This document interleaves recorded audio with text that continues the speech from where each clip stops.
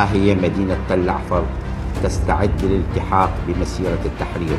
وأقولها للدواعش بأن لا خيار لكم إلا الاستسلام أو القتل.